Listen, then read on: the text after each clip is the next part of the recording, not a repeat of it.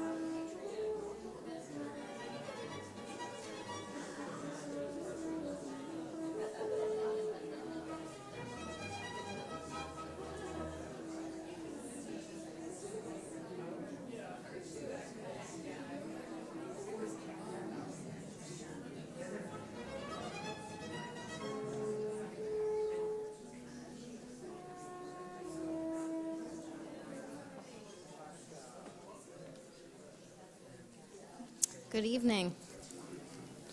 I'm Lisa Hostetler, McAvoy Family Curator for Photography at the Smithsonian American Art Museum, and I'm pleased to welcome you to tonight's installment of the Clarice Smith Lecture Series.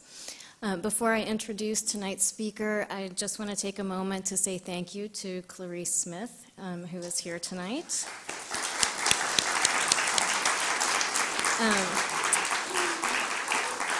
and a note of congratulations. You may know she's an accomplished painter, but she's having an exhibition at the New York Historical Society that opens next Friday. So, congratulations, please.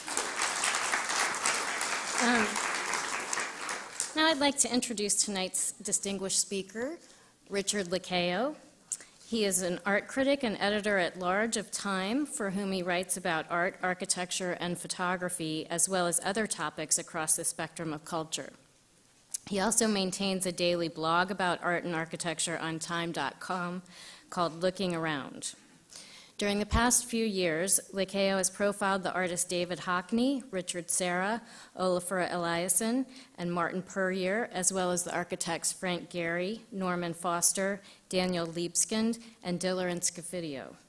He covered the 2007 Venice Biennale and has reviewed dozens of museum shows throughout the US, Canada, and in Britain. Lacayo joined Time in 1984. He became Time's photography critic in 1986 and its art critic in 2003.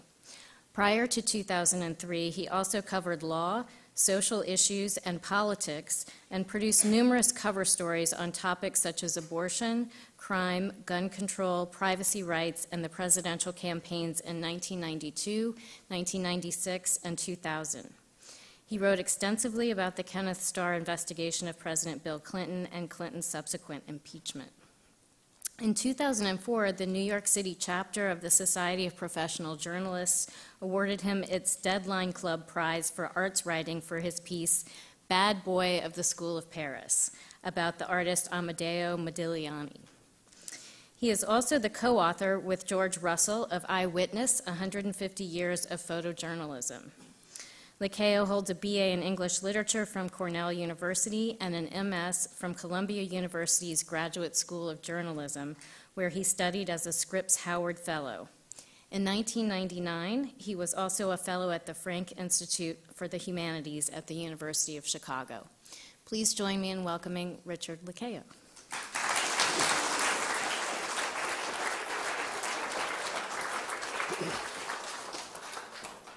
Good evening. And thank you. Uh, I would only add one note to what I, we just said. I don't do the blog any longer. I discontinued it about a year and a half ago because it was too much work.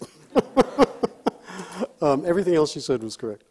Um, I'd like to also begin by thanking the benefactors of tonight's uh, event, uh, Clarice Smith, who's made this entire series possible and who is here tonight, as we said. Um, Elizabeth Broun, the director of the Smithsonian, the trustees of the Smithsonian, and of course the staff and curators as well. Um, as you know, I've come here tonight to talk about some of the many artists who worked into, into old age, um, and I'm now going to learn how to do that. Um, how their art changed as they entered that period of life, how they used those years to distill and intensify certain aspects of their art, and how they also used it as an opportunity to come to terms with mortality and end of life issues and to report to us about what they had learned. Uh, the title of my talk tonight, Hurry Up Please It's Time, as many of you will recognize, is drawn from The Wasteland, the T.S. Eliot poem.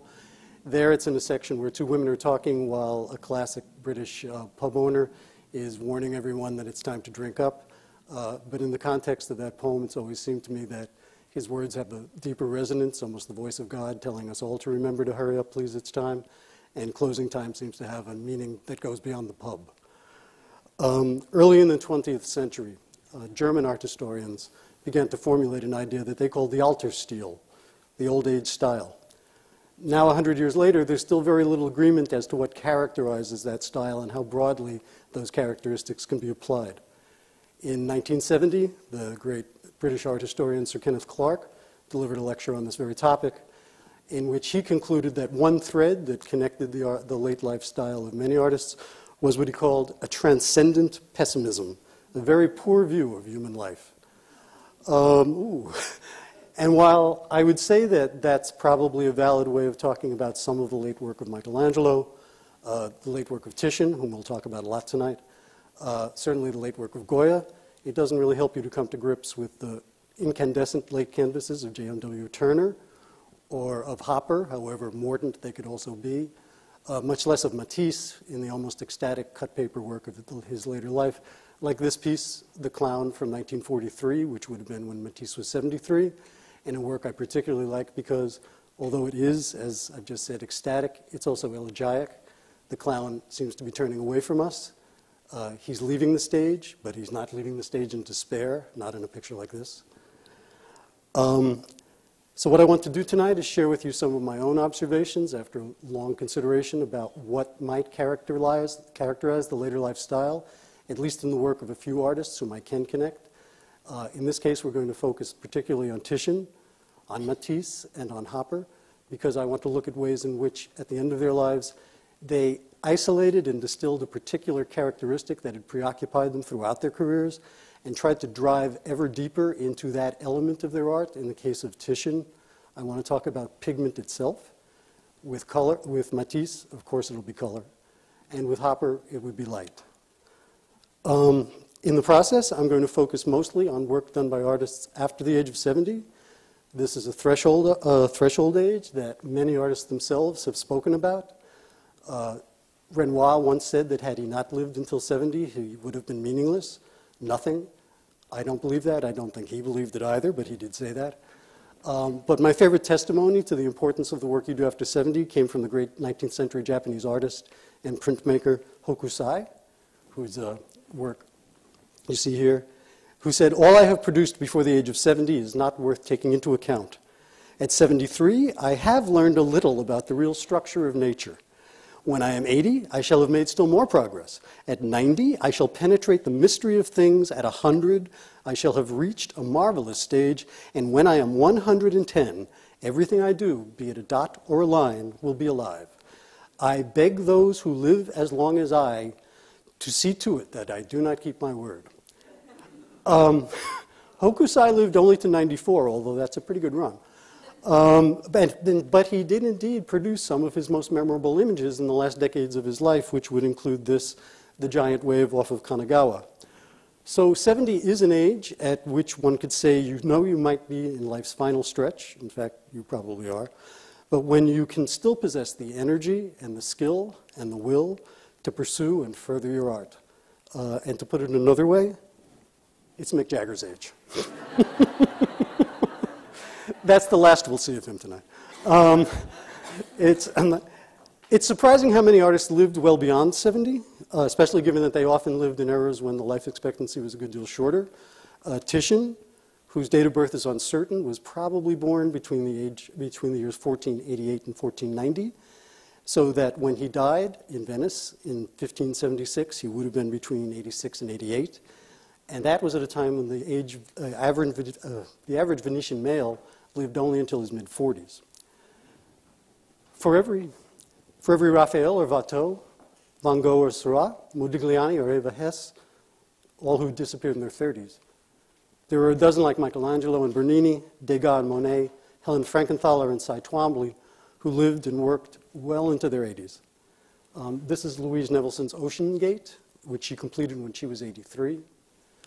And when Ellsworth Kelly turned 90 earlier this year, he entered the decade that Picasso and Oskar Kokoschka, Chagall and de Kooning all lived to see, to say nothing of Louise Bourgeois and Georgia O'Keeffe, who both lived to be 98. So I'll be able to take examples tonight from the work of quite a few old timers, but as I said, I plan to focus on just a few. Let's start with Titian. Titian is an obvious place to start for a couple of reasons, and the first is that he was my personal introduction to the idea of a later style.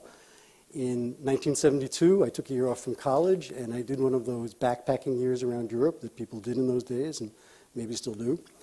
Uh, my first stop was in London, and my first destination there was the National Gallery. And in the very cold, damp, miserable February of 1972, uh, the gallery was in the middle of a public campaign to raise funds to keep this painting, Titian's Death of Actaeon, in England. It had been on loan to the gallery for 10 years from the collection of the Earl of Harewood, but he had just sold it to the Getty Museum in the United States. Uh, the museum had succeeded in getting a delay in the export license to give it time to pursue a public campaign to raise an amount of money to match the sale price and keep it in England. Um, it's a strange painting, as you can see, sort of as gloomy as the London weather was that winter. And it's one of the last of the several poesies, the mythologized poems, mostly from Ovid, that Titian produced in the last 10 or 15 years of his life, almost all of them for, all of them actually, for the great patron of his last years, King Philip II of Spain. He started making them in 1551. Um, this one was begun about eight years later, uh, but was never delivered to Philip as a couple of them were not. Uh, Titian worked on it repeatedly until the time of his death and could never bear to part with it uh, for reasons we'll get into later or speculate on later. Uh, the scene it depicts is an episode from the Greek poet Ovid that tells the story of Actaeon, a hunter who stumbled upon the goddess Diana while she was bathing in a sacred grove with her attendants. Uh, this means that he saw her naked, a sight that was forbidden to mere mortals. And despite the fact that it was an accidental transgression, the goddess could not be placated, and she devised an ingenious and instantaneous punishment. She transformed him into a stag, a deer, that's the action you're seeing on the right hand side, and he was tracked down and torn to pieces by his own hunting dogs. Um, by 1972, uh, the year I first saw this painting, I had seen a fair number of Titians in the United States, but this painting was nothing like those. Um, where were Titian's blue skies and rosy outlines? Where were the well-defined figures and uh, well-defined landscape that's more familiar from earlier Titians. Um, actually, what was going on in this picture at all was the question that I had when I first saw it. What I soon learned was that I was seeing my first example of Titian's late style. Uh, without being sure how I felt about it, and without knowing how I felt about the idea that a painting by an Italian artist made for a Spanish patron that spent over a century in a French collection before coming to England was somehow eternal British cultural property, I uh, nonetheless kicked in a few coins to the rescue uh, uh, fund, which was successful. And on many subsequent visits to London over the years, I've always made a point of stopping in to see this picture, uh, to see how they were taking care of my Titian, and uh, also to see how I continued to feel about its enduring strangeness, because there's no other way to describe it. Titian is also an obvious place to begin because uh, he was, with Donatello and Michelangelo, simply one of the first artists to present us with the idea of a late style. In his case, the style has to do mostly with brushwork, loose, open brushwork that was very unusual in the 16th century. A flurry of brushwork that blended figure and, and background, and that effectively broke the confines of European painting almost as soon as they had been locked into place. But it was more than a style, I, I, think. It was really the signature of an artist who had come to a point in his life and career in which he had nothing to prove and no one to satisfy but himself. This is Titian in 1562 in a self portrait he made when he would have been in his early 70s. By that time, he had been a hugely successful painter for almost 50 years and had become, over that time, really the first international art star. Even Michelangelo worked entirely in Italy uh, Titian had patrons and commissions all throughout, the, all throughout Europe. Um, in that time, he had completely revolutionized the art of portraiture. This is his portrait of uh, Federico Gonzaga from 1525. He had entirely reimagined painterly conventions like the enthroned Madonna. This is his really utterly revolutionary Pesaro family Madonna from 1526, where the Madonna has been taken out of the center of the picture and elevated. And along with his friend and collaborator Giorgione, who of course had died young, uh, Titian virtually invented the long-standing, now long-standing tradition of the reclining female nude in pictures like this one, the Venus d'Urbino from 1538. Uh, while Titian had never entirely adopted the firmly drawn lines, almost jackhammered into place, that were characteristic of Florentine painting, of Michelangelo, of Raphael, and so forth, all the same, in his earlier work, as you can see here, there's still a well defined figure, well modeled, firmly defined backgrounds, and so forth. But in his 60s, Titian became intrigued by the possibilities of a more open brushwork. Um, a flurry of rapid marks as a signifier for life and vitality, but also paradoxically as a signifier of anguish and anxiety. This would be an enormously influential style.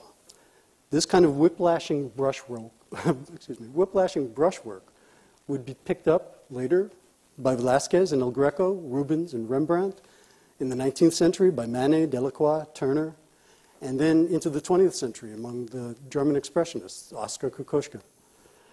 The late style was a thunderbolt that Titian threw in late life, and it traveled a long distance.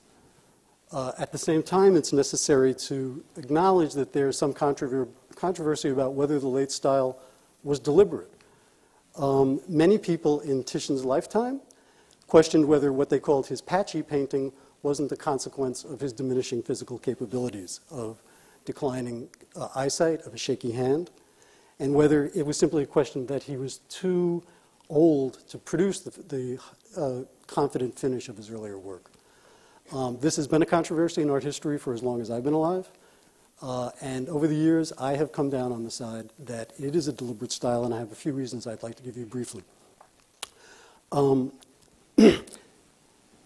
one is that Titian began embarking on this style in his 50s, a time when no one doubted that he was still in possession of his complete physical capabilities. This is his 1945 portrait of his poet and of his friend and great champion, the poet Aretino. Uh, Aretino complained in a letter, not to Titian, but to another correspondent, that despite his love of Titian, he didn't think this was a portrait. He thought it was an oil sketch, that it looked unfinished.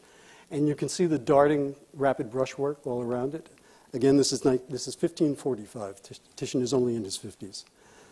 Um, this is another example. This is one of the earliest pictures that Titian painted for Philip. It's a Danae, one of several he made, from Ovid's story of Zeus seducing a beautiful woman by, by converting himself into a shower of gold. This picture always makes me think of Donald Trump. Uh,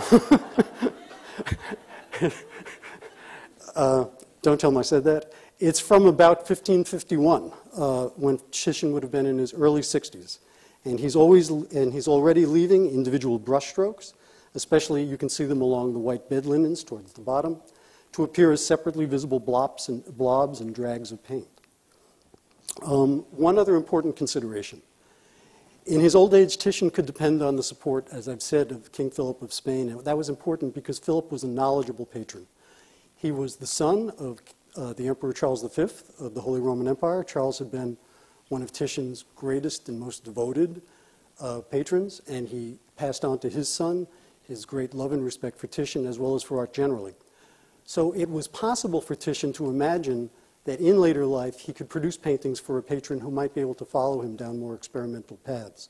And it's important to remember two things. One is that in later life, almost all of Titian's autograph paintings, autograph paintings being the ones produced largely by his own hand and not by studio assistants, almost all of those were produced for Philip. And secondly, they were in an unusual relationship in that most of the topics were chosen by Titian Ordinarily, in a patron relationship, it's the patron who tells the artist what to do, but Philip was merely king of Spain and Titian was Titian. Um, that's important for reasons we'll see later because the storyline or the narrative of many of these paintings seems to have a relation with Titian's feelings towards the end of his life. Uh, one last point here in connection with whether the late style was deliberate, and it involves one of the most freely worked of all Titian's late canvases. This is his Pietà, from, 17, from 1575, which would be roughly the year before he died. And it was intended by him for the tomb above what he would believe would be his tomb in his uh, native village outside of Venice.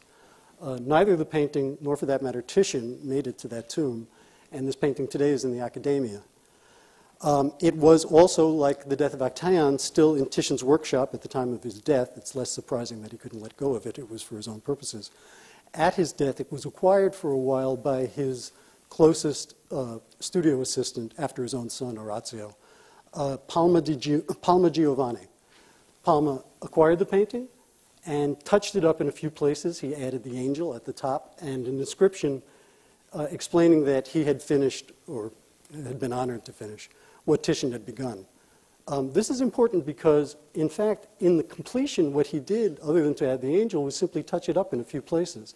He did nothing to smooth out the very roughly indicated central figures of Christ, Mary, That's Mary Magdalene shouting at us from the left-hand side, and St. Jerome on the bottom. And as the man who knew Titian's intentions better than anyone, um, it's interesting that he felt that in Titian's eyes, those figures would have been complete. Um, the anguished mood of this painting, by the way, is typical of Titian in his final years. His correspondence, uh, when it's not full of complaints about money, is full of complaints about the calamities of his time. Um, a terrible war with the Turks, um, the calamities of, of um, plague and pestilence was hitting uh, Venice all the time. Although uh, plague was, there was a period of plague when he died, it's not clear that Titian himself died of the plague. But we do know that his son, Orazio, died of it just a couple of days later. There were also common famines. It was a very difficult and dark time. Um, and yet, and what you can see here in this painting is one of the many self portraits that Titian added to his pictures in these dark years of his life. That figure of St. Jerome in the red uh, robe is a plain self portrait of Titian on his hands and knees approaching Christ, whom he had every expectation and hope of seeing in person sometime very soon. And in what I think is an incredibly poignant gesture, he's literally gripping Christ's hand. Um, Self portraits, as I said, became more common for Titian in, the, in his later work. This is The Entombment uh, from 1559, a few years before the Pietà, uh, 15 years before the Pietà. And already we see Titian in a self portrait at the left in the, uh, in the mustard colored gown laying Christ to rest. And the bleakness of some of his late religious painting also finds its way into his mythological paintings as well. And you'll recall that I said that Titian chose the topics of those paintings, and what he increasingly settled upon as the topic was the capriciousness and injustice of the gods and their indifference to human suffering. And that would be the lesson of his most unnerving late painting, the death of the, not just the death of Actaeon, but this one, the flaying of Marsyas. A chilling scene of the god Apollo serenely, skill, serenely skinning alive a satyr who had dared to challenge him to a musical contest. In Titian's picture, the hapless Marsyas has been strung up by his hooves, a detail that Titian invented. It's not in the poem by Ovid. Like a captured animal. And near the bottom of the canvas, you'll see a little dog who is delicately, delicately lapping up the satyr's blood. A perfect conjunction of the grotesque and the ordinary, and a detail that it always occurs to me could have come straight out of Auden's poem that you'll probably know, the Musée des Beaux-Arts, the one that starts uh, about suffering, they were never wrong, the old masters, and goes on, they never forgot that even the dreadful martyrdom must run its course. Anyhow, in a corner, some untidy spot where the dogs go on with their doggy life, and the torturer's horse scratches its innocent behind on a tree. Uh, we're spared the horses behind in this picture, but we do get the dog. Like the death of Actaeon, this is a picture that was still in Titian's studio at his death and had apparently been worked and reworked for years as though Titian couldn't bring himself to part with it. And you have to wonder if that might not be because the subject, this is speculative, a creature tormented for his art, was a subject too close to the heart of this increasingly tormented painter. It's notable that this is another picture in which Titian included a portrait of himself. That's Titian as King Midas on the right hand side with his chin cupped in his hand. Uh, Midas had uh, been one of the people asked originally to act as a judge on this contest. He had found in favor of Marsyas, but was overruled by the Muses. And it's notable here also that uh, it's part of the King Midas legend that after an earlier musical contest, Apollo had mocked him by investing him with uh, the ears of an ass. And although it's not easily visible here, that is what he is wearing. So this is Titian in a self portrait depicting himself as a king, which he was, the king of the European art world, but also as a fool, a creature suffering and also observing the torture of a creature who was suffering for his art and for his hubris as an artist, his presumption to compete with the gods, and his failure to understand that that's a game you can't win. When you look at that picture in this light, you realize something also about the death of Actaeon that it too might be an allegory for the plight of the artist, because, as one of Titian's biographers has pointed out, the crime for which Actaeon was punished was any painter's most basic transaction with the world, the simple act of seeing. And it's here when you realize excuse me, when you realize Titian's darkening mood in his later years, that his freer style begins to seem not simply a matter of the optics of painting, how you make the surface of a canvas appear, but also a way of using paint, the sticky, oily substance itself, as a correlative for feeling. Not just the things it depicts, but the thing that the paint is. The flickering brushwork and the almost blistered surface effects in the Marsyas picture, which, by the way, was a painting that was signed by Titian, a strong indication that he considered it to be finished, turns the whole canvas into a kind of uniform force field, infected in every corner by the anguish and pain of its subject.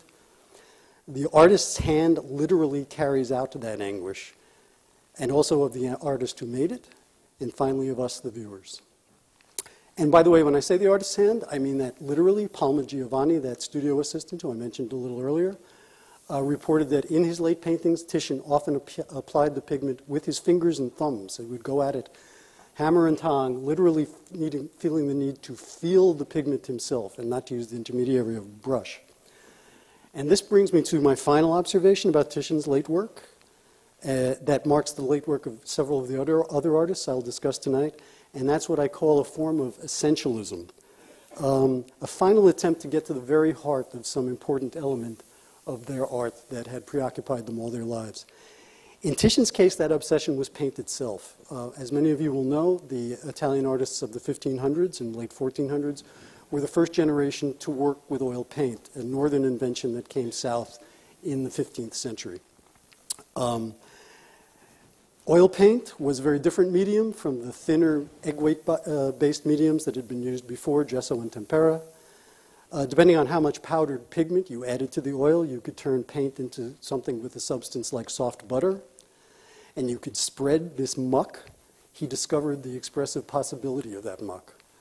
Uh, discovered that paint itself, not just the things it depicted, could be a conductor for feeling and for the emotional charge of a picture, a charge that more than 400 years later we still feel. And with this, he immensely widened the possibilities of Western painting in the same way that the early silent film directors widened the possibility of movie making when they discovered cross cutting. And many centuries before Marshall McLuhan, he realized that the medium really is the message. Um, that lesson would ring down more than four centuries to this painting.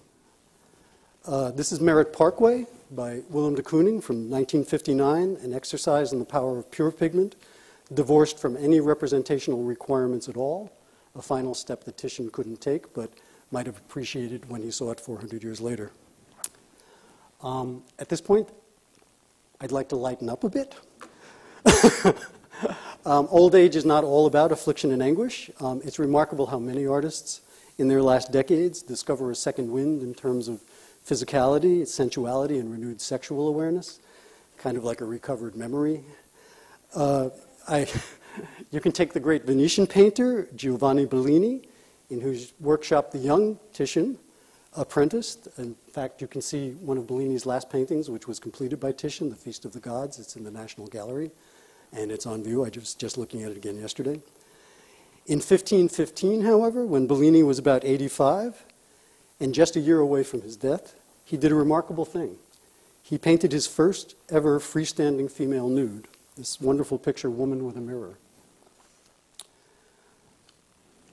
Then there's Ingres, uh, who was 82 when he painted the Turkish bath. Um, in his case, these were not, of course, his first nudes. Um, he was famous for them, he'd been making them all his life. Uh, but interestingly, this was a canvas in which the old man reached back more than half a century.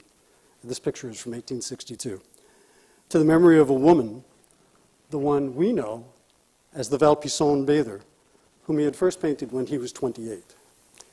Um, he had revisited her a number of period, a number of times in subsequent years, or revisited her memory, if not the actual woman. And then there's the wonderful Louise Bourgeois. Um, she was 89 when she made this fabric and, steel, and stainless steel sculpture called Seven in a Bed. Um, it stems in part from her memories of childhood. As you know, memory was one of her obsessive uh, elements in her art. Uh, but also from her lifelong willingness to explore physicality and sensuality, and sometimes with absolutely no limits. Um, even Ellsworth Kelly, whose abstract vocabulary of monochromed colored panels might not seem to offer much room for eroticism, was in his late 80s when he made this wall piece, Black Form 1, that is certainly suggestive of something. Um, I offer all of these by way of introduction to the work, uh, the late work of Auguste Renoir, who devoted a good part of his last years to painting plump, rosy nudes, young women who became more fleshy and succulent as he himself became more disabled. Uh, this is Renoir in 1912. In the 1890s, when he was still in his 50s, he developed rheumatoid arthritis. It progressed until his fingers were bent up and to claws with the tips pressed against the palm of his hands. In this picture, made when he was 73, I think you can see the extent of his disability. By 1907, on the recommendation of his doctors, he had relocated to the south of France, like so many other artists, where he found a kind of personal paradise tended by the ghosts of the Mediterranean. His particular garden was a farmstead in a town called Cagnes-sur-Mer that was not far from Nice, where one of his late life neighbors would be Matisse, who would visit him a number of times.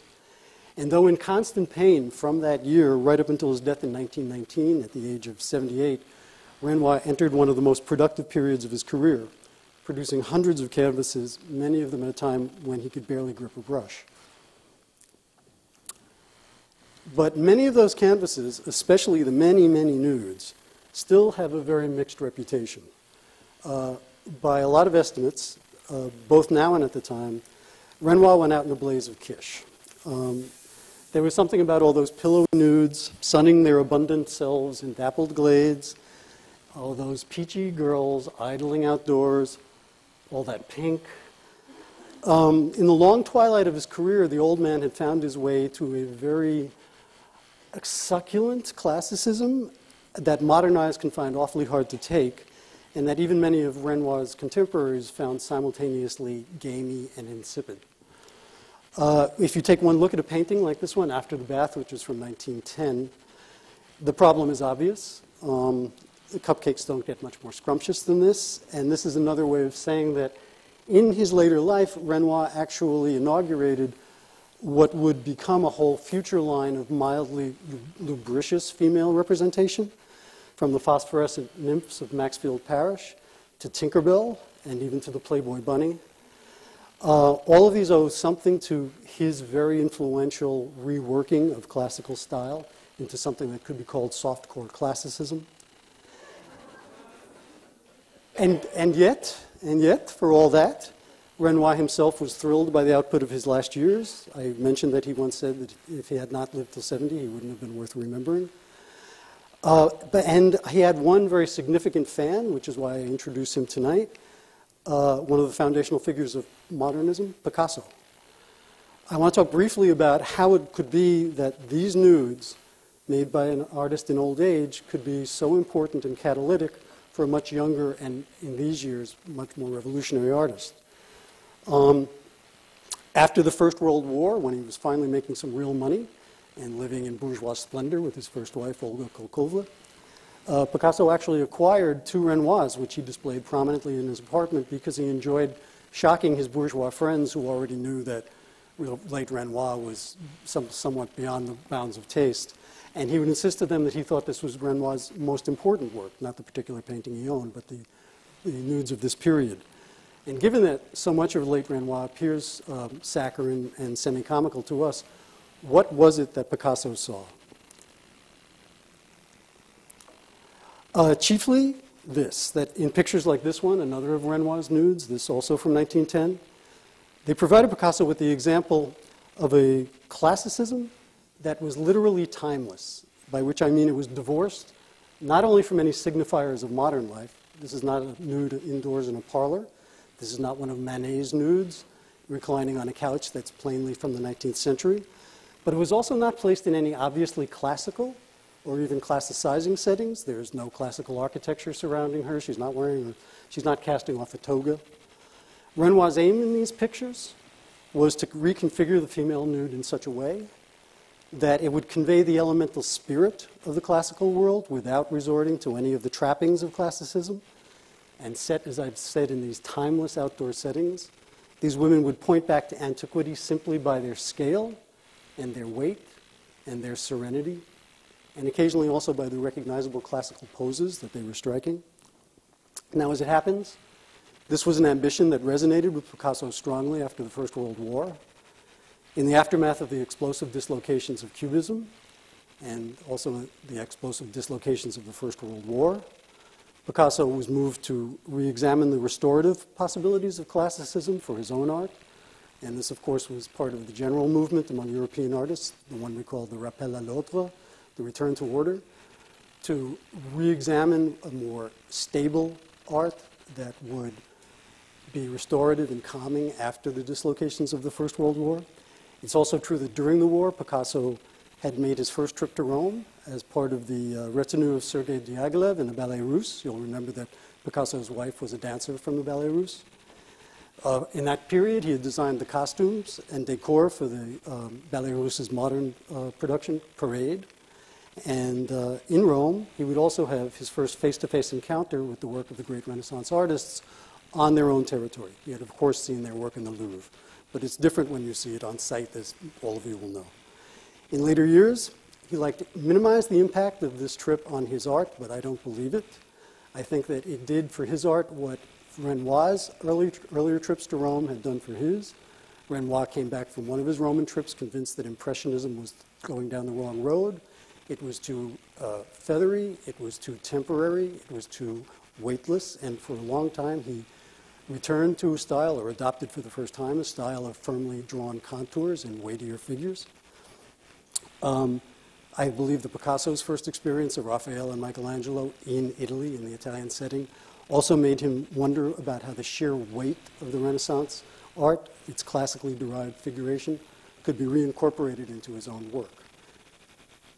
This was one of his solutions, and there are several like it. There, from 1921, a couple of years after Renoir died, but years in which Picasso was meditating deeply on Renoir's last work. Uh, this is called uh, Seated Nude on a Rock. It's in the collection of the Museum of Modern Art in New York, as you may know. This is another example. Seated nude drying her feet, also from 1921. Looking at these, it's obvious how Renoir's nudes, purged of their high sugar content, uh, helped Picasso to translate classicism into his own terms, and how the work of a much younger artist, uh, rather a much older artist, could act as a catalyst in the mind of a much younger artist and still provide a link in art historical terms from one generation to the next. So now, on to the other great master of the 20th century. This is Matisse in the 1940s uh, in bed, uh, where he spent much of his time in those years as an invalid, making some of the color cutouts that were his magnificent last contribution to art. He turned 70 in 1940. Uh, it was a watershed year for him in a number of ways, all of them miserable. 1940 was, of course, the year that the Germans climbed all over France. The north of France and portions of the west, of course, became German occupied territory, including Paris. Paris was where Matisse's wife and grown children lived, in a suburb of Paris. Uh, Matisse himself, since 1917, had been living almost uh, most of every year in Nice, in the south. Uh, his wife would come and visit him sometimes, although less frequently as the years went by. And of course, the south of France was in hardly better shape as it became part of the puppet Vichy regime. So, in political terms, uh, Matisse, who was an ardent French patriot, uh, looked, looked at the moment he was living in, remembered back to the First World War, another period of misery for him, and shuddered for the future. It was also a period, I might add, when his beloved daughter Marguerite uh, joined the French resistance uh, with the result that she was eventually arrested by the Gestapo, sent to a concentration camp, and tortured. Um, ordeals that she managed to survive, but uh, with no end of anguish for Matisse during most of the war years who didn't know her fate. Uh, it was a bad year for him in another reason. Um, his wife Amélie demanded a divorce. Uh, as I mentioned, Matisse had been living for most of each year in the south of France. Uh, but since, since, the 1930s or the early 30s, he had been living in particular in the company of a woman named Lydia de Delektorskaya. You'll find her in many of Matisse's paintings of this period. She was his studio assistant, his uh, helper, his muse, his model, uh, and many Matisse scholars have also assumed that she was his lover.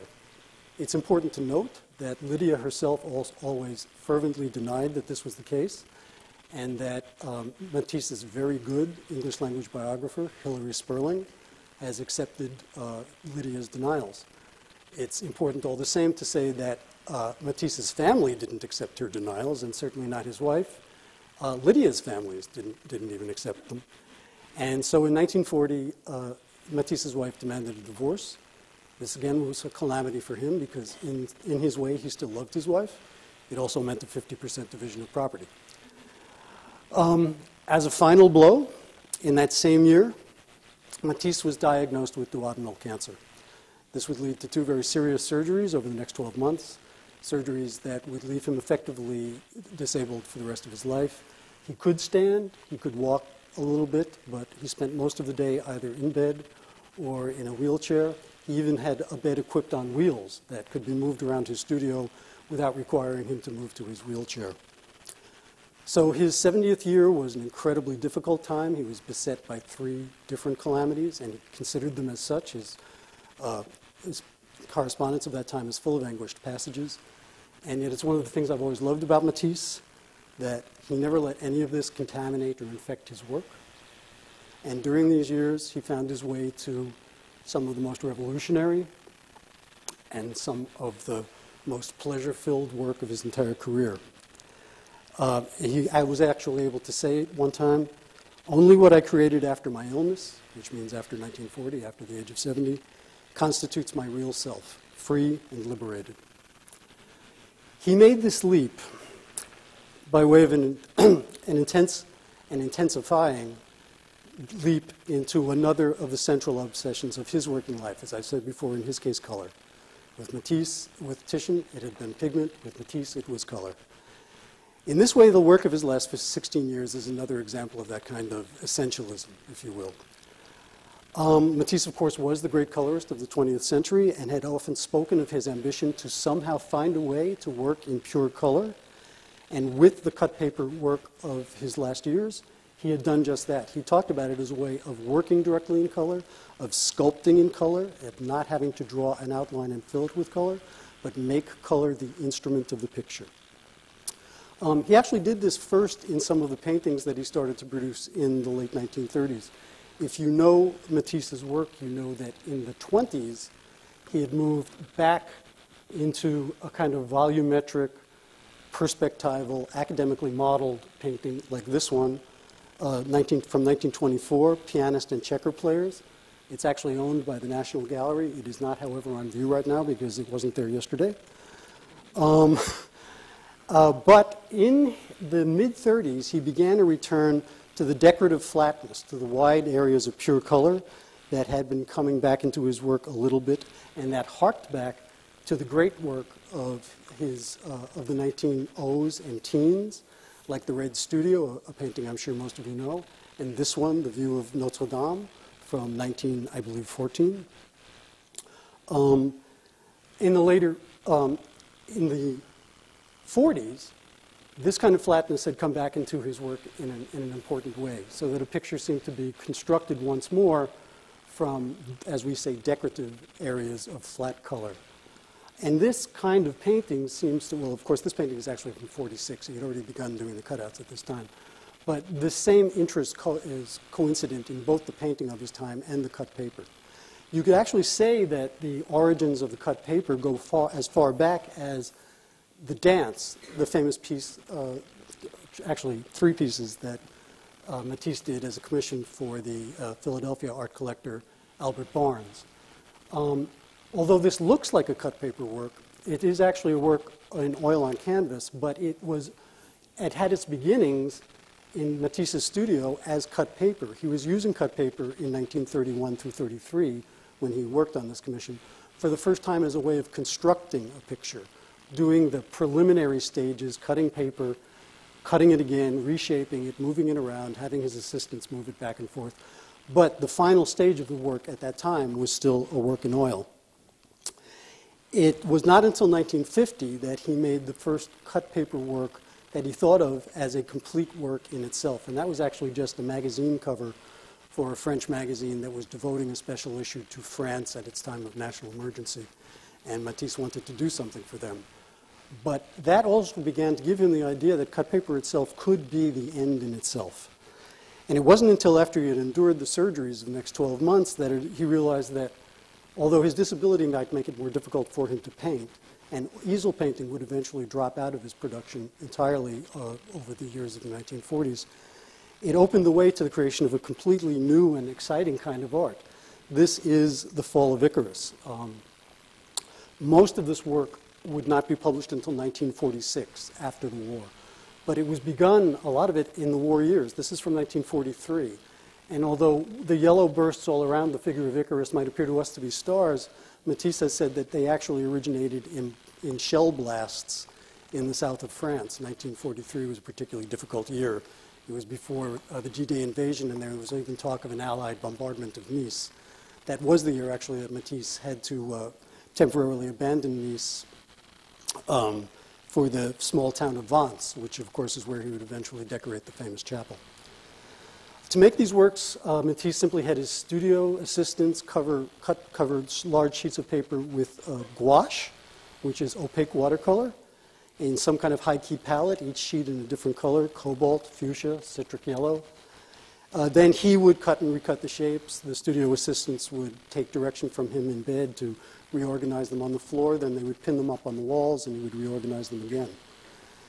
And it thrilled Matisse. It thrilled him to be able to do work of this kind, so that even when he made a work like this one, which is called The Sorrow of the King, it looks anything but sorrowful. Um, he described this process, as I said, as sculpting with color, which to me brings to mind again uh, Titian, as described by his assistant Palma Giovanni, literally needing to put his hands on the thing that had obsessed him all his life. In, in Titian's case, it was the pigment that he played with like muck. In Matisse's case, it's the pigment that he cut directly into. I've also felt, and this is very speculative on my part, I don't like to rely too much on psychological explanations, but after having suffered so much serious surgery, the cut paper technique might have been in some subliminal way for Matisse a way of regaining control over the very idea of cutting, uh, to be the one who was wielding the sharp instruments. Uh, this time, instead of having them slice through him, uh, using them to produce movement and vitality instead of inability, uh, taking an instrument of pain and turning it into an instrument of pleasure, which I think of as a very Matissean thing to do.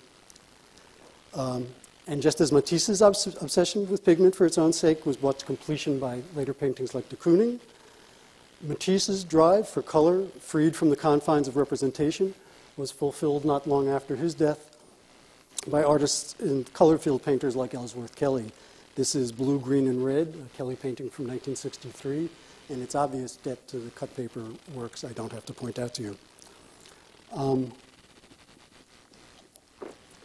one last example of later life essentialism.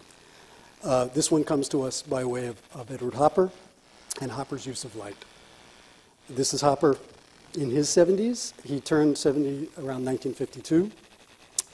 Uh, for him, the, decades of the, the, decade of the 1950s was both the best of times and the worst of times.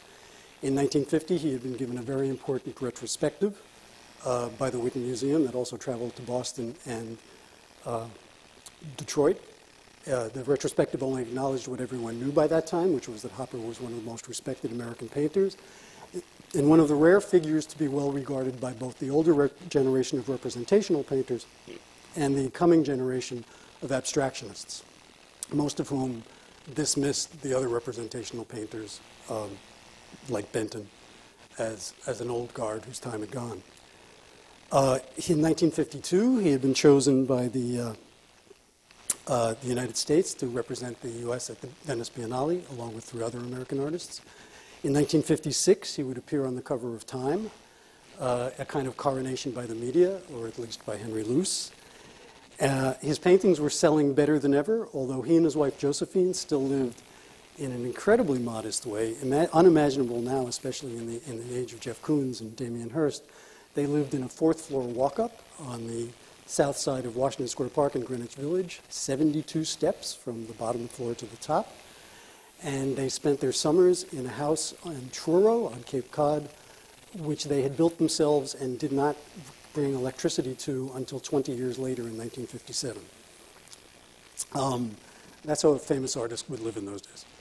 Um, on the other hand, in the 1950s, it was also in some ways the worst of time for Hopper. Uh, for one thing, as I've mentioned, representation, representational artists felt themselves increasingly neglected and marginalized, so much so that they felt it necessary to form an organization.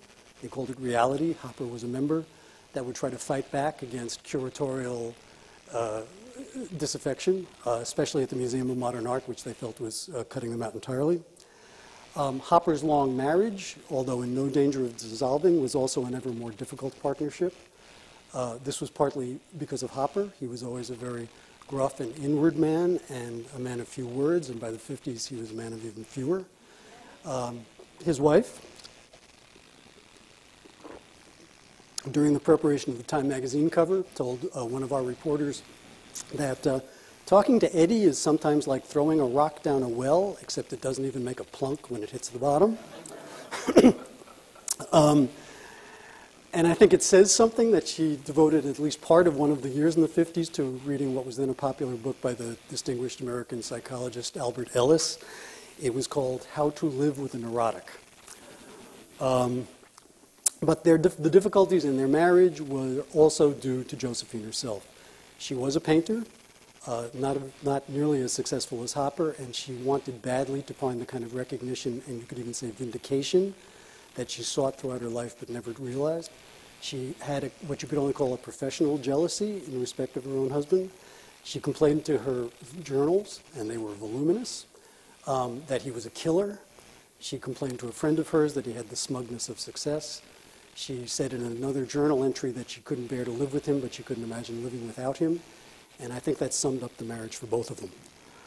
Um, all the same, uh, in those years, Hopper uh, approached, uh, as he approached 70, uh, made a shift in his work. I wouldn't call it a profound change, but to borrow the words of his very knowledgeable biographer, Gail Levin, he found that sunlight in its imaginative association with light, with life rather, became more and more his real subject. And I think you can see what that means in this painting from 1953. It's called Office in a Small City. Uh, Hopper, of course, had always had a magical way of rendering light. It's one of the things we love him for. Uh, but now light had literally become more entirely what the paintings were about. Um, he does this in a number of ways. Here's another example. Painting called Morning Sun from 1952. That is Jo as his model. She was, by the way, his lifelong model. Um, in the paintings of his last 15 years or so, and Hopper was 84 when he died in 1967, there's a notable emptying out. Um, like the later Matisse, though without resorting to actual flatness, he begins to declutter his canvases. Um, rooms tend to be less furnished. There are wide areas of bare wall that are washed with sun as in this painting, uh, Morning Sun from 1952. His walls were widening to something like sunlit plains, and I think of these as Hopper's interiors as his equivalent for the American West. He had been out west, he had experienced western sunlight, he actually didn't like it. It was too direct and strong and wasn't like the powdery and gentler light of the Cape that he was so accustomed to. Uh, but he also understood that western light was fundamental to the history of American painting. Uh, I think of this as his American West. Um, these two pictures demonstrate another characteristic of Hopper's later work, and that is that his people are more frequently communing directly with the light, that the activity in the painting is simply people looking outward, standing or sitting, and facing towards the sun, as they do here in another painting from 1952, oh, by the way, called Sea Watchers. These are not the first Hopper canvases in which people look sunwards. I'm not trying to say that. I can show you examples as far back as the 20s. But pictures of this kind now make up far, a far greater proportion of his output, in part because his output has by now dwindled to just one or two pictures a year. Uh, commonly, a picture of someone gazing into the light. Um, and in their almost stupefied phototropism, their rapt concentration on light, I believe these people become surrogates for Hopper himself, signifiers of his own growing fascination with light. Uh, that was never truer than in this picture, People in the Sun from 1960. Uh, this is a painting that is in the collection of the Smithsonian American Art uh, Museum and right now is in the Luce Center. Um, in this, we find people a group of people fully dressed who are sunning themselves, uh, as uh, Betsy Broun said to me today, somewhat like in a sanatorium. It made me wonder if the figure on the left is reading The Magic Mountain. Um, the, the landscape is notably, has a notable whiff of the surreal in it. This would not be the first time that Hopper has juxtaposed a building with a landscape in a strange way, but here there's almost a, a, a Magritte quality to the landscape, as though it were a false picture that the, that the figures were looking at. I think you find the same thing in this painting, Sun on Brownstones from 1956, where there's an abrupt transition between the urban block and this, uh, and this rural or hillside that you see behind it. Again, this wouldn't be the first time that Hopper had done such a thing. I can show you watercolors from 1926. But this uh, surrealist element, which I'm not the first to notice, um, and which also relates him in some ways to the strange spatial juxtapositions of, of De Chirico, appears more and more frequently in work of this time, and I think it's meant to focus you instead on the light and not the narrative as the way into this picture. But especially here, in Rooms by the Sea, which is from 1951, and which may indeed have in some way been a view that it was possible to have from Hopper's studio on Truro, but I don't believe it. Um, this is a door that opens onto an impossible ocean view. I think that Hopper wanted to capture the purest image of one element, which is the light, and to eliminate all other kinds of narrative from the picture by disrupting narrative altogether. Notably, he also eliminates people. This is one of his first, if not his first painting, in which no one appears and he is forcing your attention on the light itself. Twelve years later, he returns to this idea in a painting called The Empty Sun in an Empty Room. But this time the image takes on, I believe, an additional resonance. Um, it's a pure light machine, sunlight falling across a wall, but in such a way that it divides into two vertical rectangles. That when he was asked what this painting was about or what he was after, he gave an interesting answer. He said, it's ap- I'm after me. And actually, I think he was after himself and Jo. Um, this is a picture that was painted just a few years before their deaths. Hopper, I mentioned, died in 1967, and Jo one year later. And those two vertical rectangles, to my mind, inevitably call to mind tombstones. Um, I think that this is a, a, reading that's validated to some extent by an earlier Hopper painting called Two Puritans, which were two vertical white houses side by side on the Cape that um, have often been associated as representations, symbolic representations of himself and Jo. Hopper was very tall, as you may know, over six feet tall. Jo was barely five feet. Um, though two years later, Hopper would paint a valedictory painting, his very last canvas that was called Two Comedians, a picture of himself and Jo costumed as Commedia dell'arte clowns taking a final bow from a proscenium stage. And I think again of the Matisse painting that I opened up with of the clown turning away from the viewer. Uh, I'm not alone in thinking that this haunting picture uh, the best work of his last years is his real farewell. Thanks to Albert Einstein, we know that mass and energy are two forms of the same thing, and that light is a kind of transitional form between the two.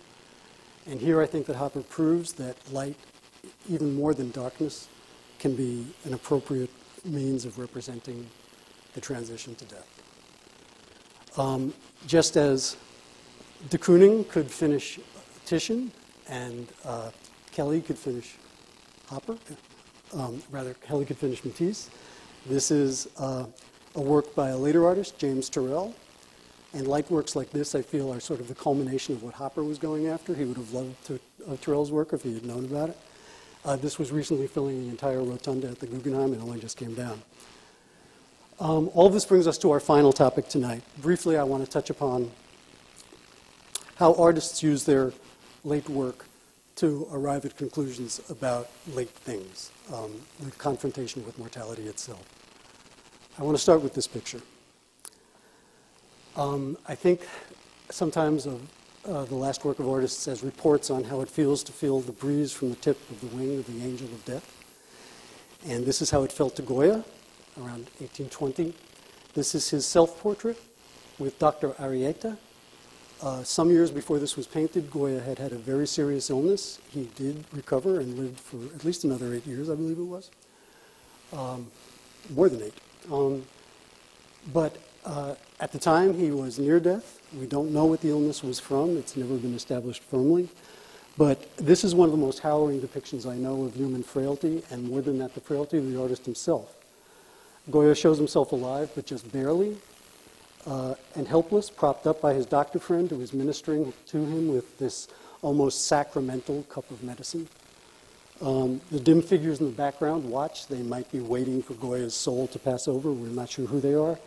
And the words at the bottom of the canvas, which Goya made as a gift for his doctor, and it was in the doctor's household for many years, says Goya gives thanks to his friend Arrieta for the expert care with which he saved his life from an acute and dangerous illness which he suffered at the close of the year 1819 when he was 73 years old.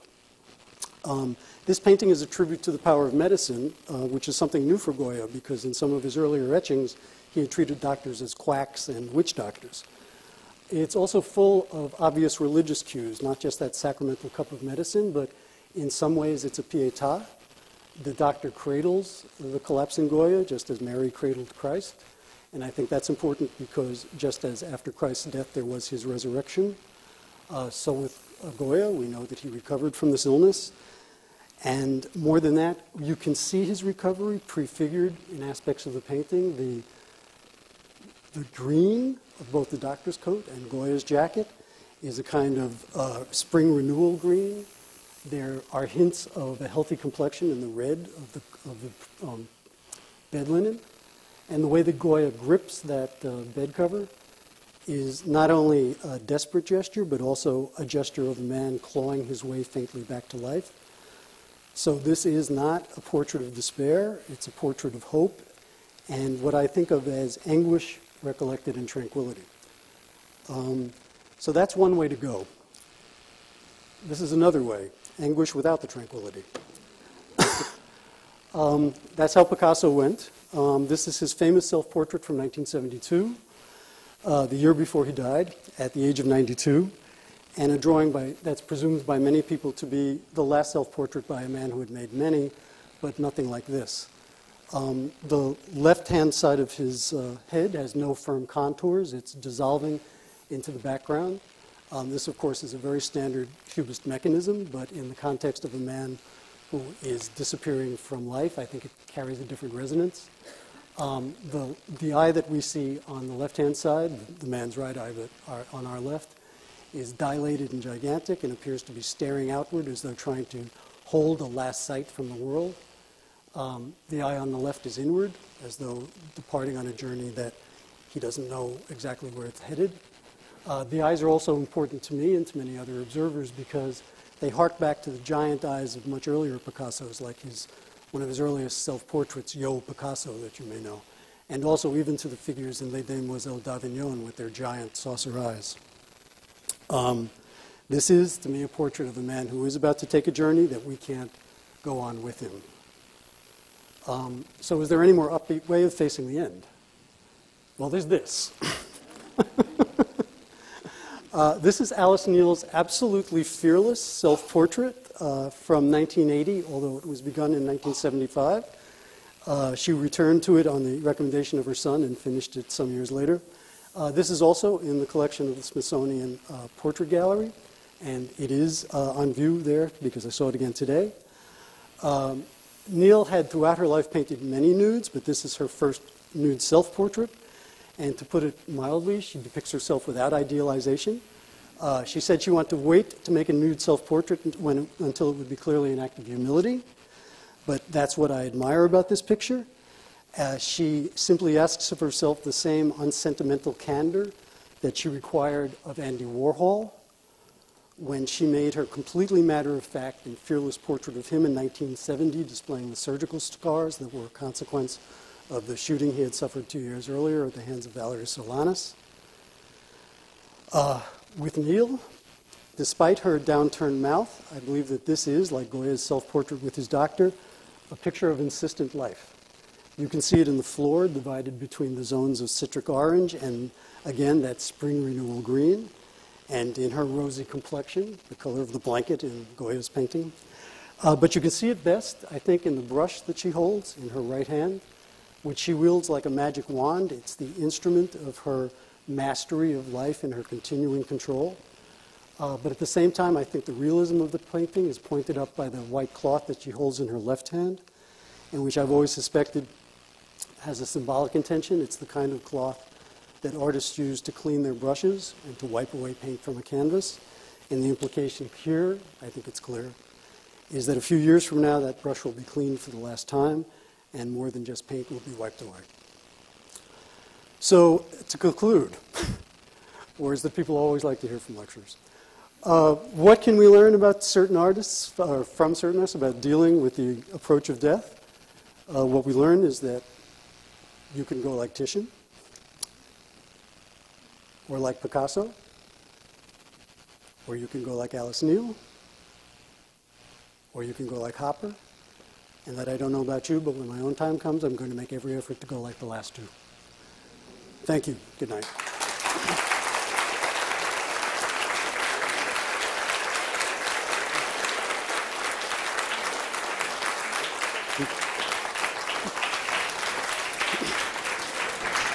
Liked from both sides. That was not a deliberate effect. but I like it. I like it. It's good. Um, I, am instructed that, uh, and it's my pleasure to take questions if there are any. Um, if I can uh, clarify any points that I made, or if anyone would like to dispute them, um, I'm happy to do either. Yes.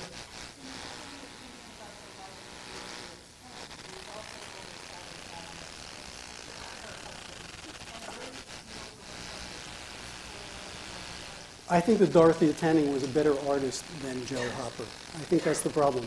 There have been many uh, married couples in which both, both members were painters. Um, Jackson Pollock and his wife. Uh, but in those cases, I mean, Joan Mitchell and Robert Motherwell, who were married for a time, those were both two considerable artists. And when, when Joan Mitchell and Robert Motherwell split up, they both went on to careers just as important as the ones you would expect them to have. I think Dorothy Tanning uh, she was not nearly as well recognized, we know, as Max Ernst, but she still had managed to have a foot in the canon with her sort of semi-surrealist work in particular, uh, semi-surrealist work. Uh, jo- Josephine Hopper, I've not seen much of her work. I've seen work in reproduction, and I always refuse to comment on anything that I haven't seen in the room. I have seen some of her paintings. Not many of them survive, and the reason for that is that uh, Jo left her, a great deal of Hopper's work, as you know, to the Whitney, but also a great deal of her own work, about 100 canvases and works on paper. Uh, the Whitney gave four of them uh, to uh, NYU, uh, which owned the building that the Hoppers lived in at the end of their lives. The other 96 they distributed among New York area hospitals, and all 96 of them have been lost. Um, you can see some of them in reproduction. And uh, what I would say is that uh, Josephine Hopper was a competent painter, but she wasn't being ignored because of her husband. It's just not a case of that. Um, else? Uh, please, not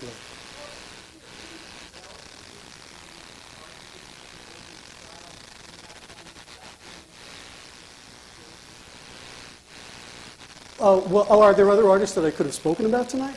Oh my God, I'll, I'll email you the parts of this lecture that I. the Smithsonian very wisely asked me to stay roughly within a one hour time frame, which I agree with. I've been to lectures that went on for two hours, and I, am sorry I was there. Um, Monet, you can talk about. J.M.W. Turner, although light was an obsession of his all, his work, all his life, I could show you a succession of three paintings of the same castle, each of them dissolving over a period of years into more and more of a soup of pure light until you can barely see anything palpable in the final picture. Um, uh, I was thinking of constructing a section around Louise Bourgeois, an artist that I particularly love. In her case, the fundamental would have been memory.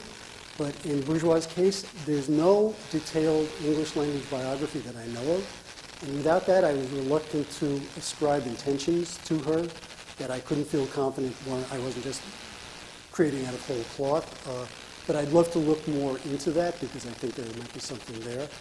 Um, uh, oh God, I'm going to see, uh, tomorrow I'm leaving for San Francisco to see David Hockney. Uh, the David Hockney Landscape Show that's in San Francisco. All of the landscapes that he started doing only in the last 10 years. I went out to Yorkshire uh, a few years ago to meet with him and go to some of the places he's been painting. He's now 75 years old, so he's crossed my 70-year threshold. Um, and in his case, it's interesting because uh, Hockney was always very experimental in every genre that he visited, portraiture, landscape, so on and so forth. Um, in the work of more recent years, he seems to have been going back to the great traditions of English landscape painting. He still brings some technological innovation to it. He's using uh, computer programs to link many uh, canvases all done outdoors, but into a single vast canvas that would be too large to tote around. In, so he's painting in plein air, but producing monumental-sized canvases of the kind that David used to produce as giant historical canvases. I have, I've seen some of that work. I have seen the rest of it only in reproduction, so again, I have no feelings about it until I see it. But I think he might be another good example. Um, yes.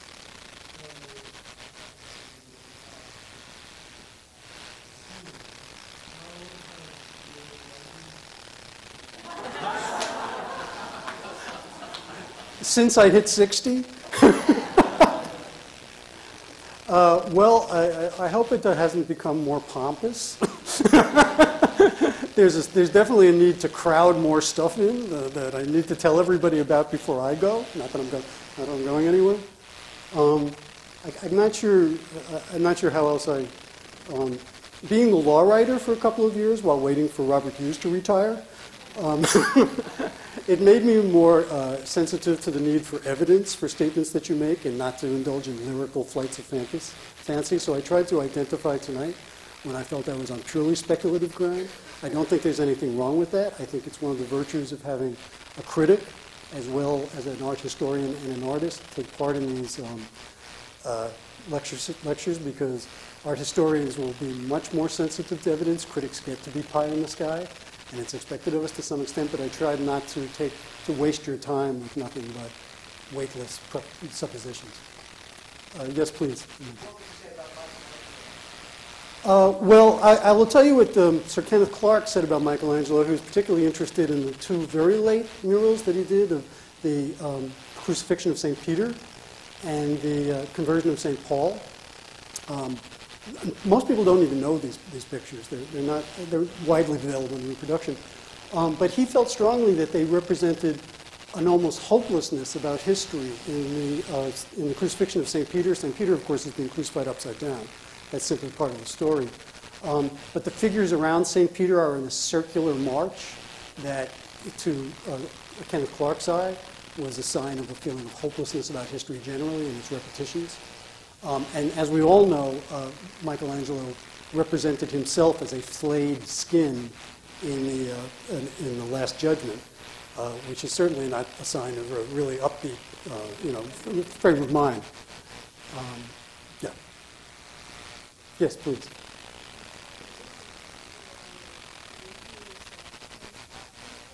Mm-hmm.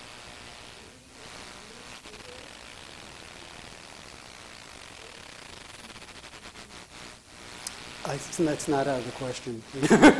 I guess I guess what I would say is, um, did, did whatever Matisse's relationship with Lydia Delectorskaya, uh, did that actually renew his painting? Uh, his, did it give him a new lease on life, if you will? Um, I, I, think it, I think it may have. Uh, of course, we have the problem that Lydia denies that there was an adulterous relationship.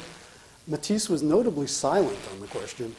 Um, but many scholars, Jack Flam, who you may know as one of the most notable American Matisse scholars, think it's indisputable that there was an involvement there, and that it was, a, excuse me, it was rejuvenating for Matisse. And we know with Picasso, he married late in life after a succession of relationships. Um, he only had two wives, uh, Olga, who he remained married to even after he had no longer, long after they had split.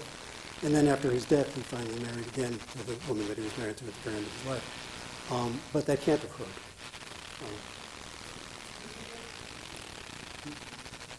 anyone else? Oh, um, I, I, let me take this person here first. Uh, there was someone back there? Oh, I'm sorry, this person over here? Yes. Yeah, you know, I was wondering if people had, would think I had passed over her in silence. Uh, what I would say is, I'm not. I don't think the work of her last 25 years is as strong as the work of her younger days, and I have a number of reasons for feeling that way. Of course, in the very last years of her life, you know that her eyesight was such that she could barely work at all.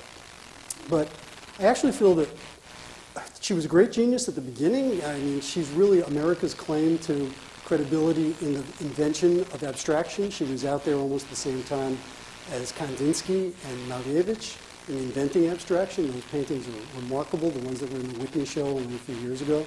I love the work that she does in New York when she comes up to New York and, and Lake George. But really, when she moves permanently to the Southwest, my interest in her work actually starts to fall off. I know that that's some of the most beloved work that she did, but that folkloric element that, that comes into it more, more prominently, I think is a betrayal of her earlier commitment to a more abstract kind of work, and it's just not to my taste. So that when we get to the later work, the later work that I like the best are the many times that she returns to abstraction in work that actually almost repeats some of the very earliest paintings. I didn't have, uh, I thought of going into her work here, but I didn't, again, there was a question of time, and I just didn't feel that I could take the time for someone whose work at the end of their life, no matter what my enthusiasm for their earlier stages, just wasn't as great. Uh, please, the woman in the skirt. Well, uh, believe me, Cezanne only, he was on the cutting room floor. Uh, it really is a question of time. Uh, Cezanne's late, late work is some of his most important, and he's one of the best examples of a late style. Uh, but since I was already working with Renoir and I had already had to put Monet aside, uh, uh Cezanne went yeah, it. Um, yes, please.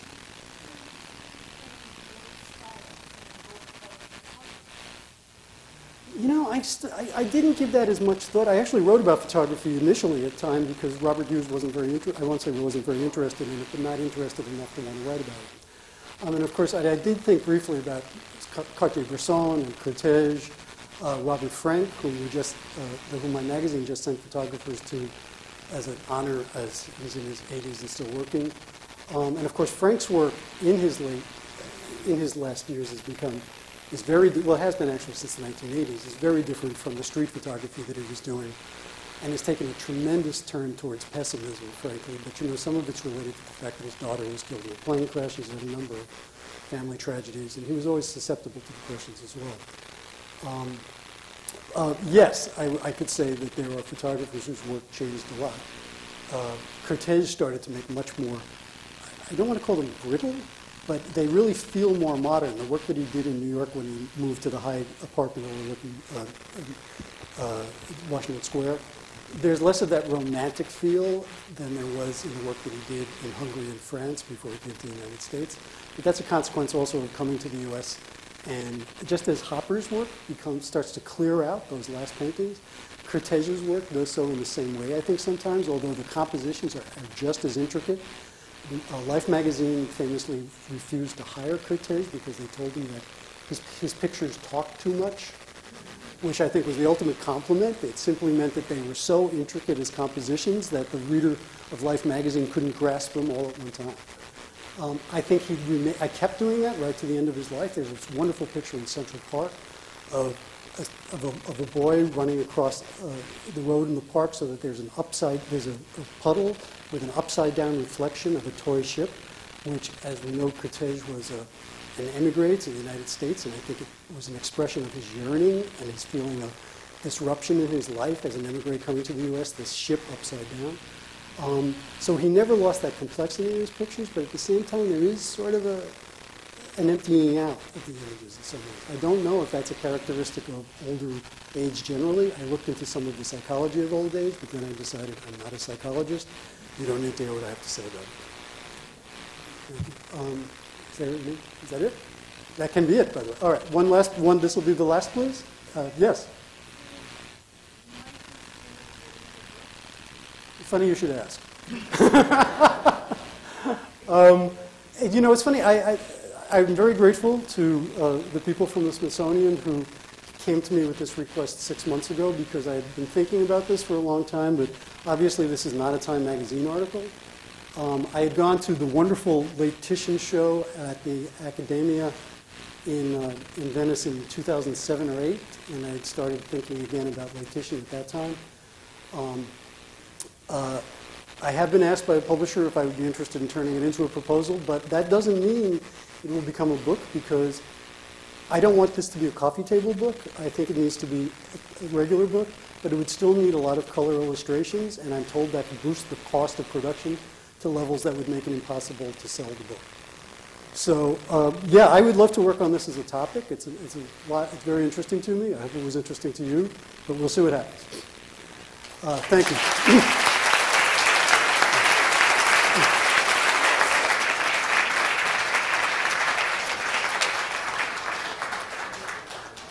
Please join us in the um, courtyard for a reception. Thank you for coming.